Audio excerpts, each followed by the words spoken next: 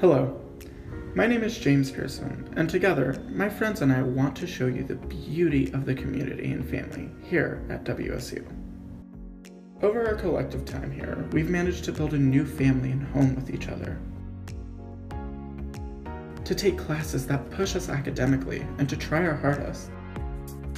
To acquire leadership roles in clubs and make more friends than we could have ever possibly imagined. No matter where we go, there's always another Coug there to cheer us up and to help us along.